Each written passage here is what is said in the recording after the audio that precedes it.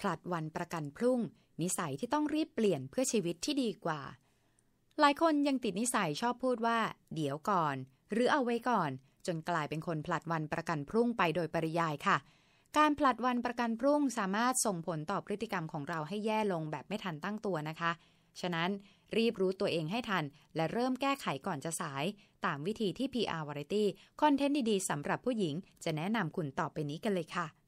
1. ตั้งเป้าหมาย และรีบลงมือทำวิธีง่าย ๆ ที่ลงมือทำได้ทันทีนั่นก็คือ การตั้งเป้าหมาย อย่างเช่น เช้านี้ตื่นขึ้นมา เราจะเริ่มทำอะไร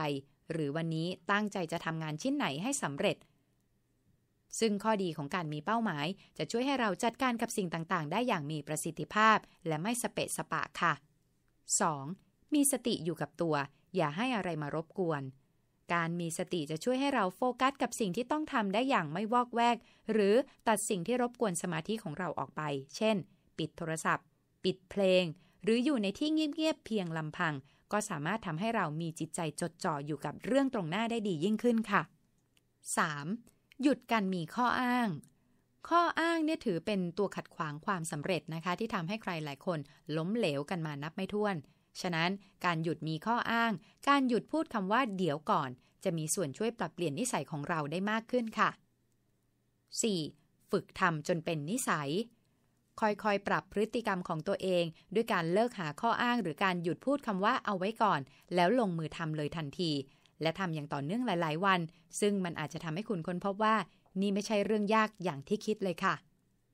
5. ให้รางวัลตัวเอง เมื่อทำสิ่งที่ตั้งใจไว้สำเร็จแล้ว ก็จงหันมามอบรางวัลให้กับตัวเองบ้าง เช่น การให้คำชื่นชมตัวเอง หรือการทำในสิ่งที่อยากทำเพื่อเป็นการตอบแทนความพยายาม ความตั้งใจ